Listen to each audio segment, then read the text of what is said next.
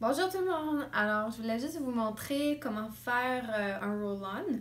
C'est assez simple, mais il y a des petits trucs quand même qui peuvent vous aider. Donc, euh, je vais faire mon bâton immunité que j'aime beaucoup faire. Euh, je le fais très, très, très souvent.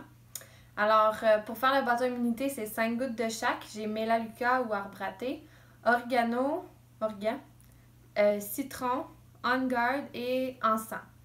Alors, euh, je mets 5 gouttes de chaque. Puis, qu'est-ce qui peut être euh, utile à, savoir? C'est quand on met nos gouttes de ne pas verser complètement à l'envers comme ça, mais de le mettre sur un angle.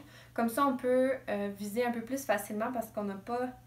La bouteille, c'est pas ce qu'il y a de plus gros. Donc, on met 5 gouttes de chaque. Donc, bon.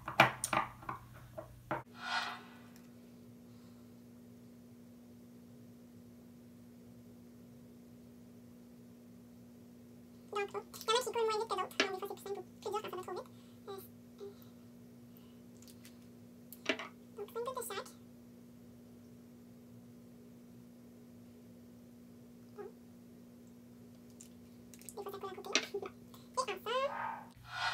1, 2, 3, 4, 5. Et voilà. Et ensuite, on met l'huile de coco. Donc, je remplis avec l'huile de coco.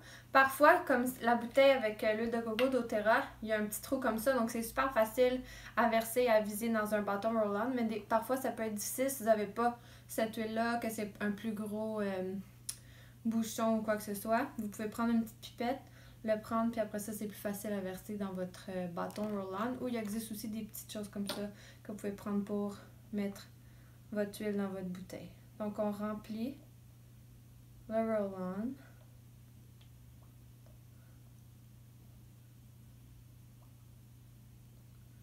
Comme ceci. Et voilà, ensuite on remet la bille. On brasse.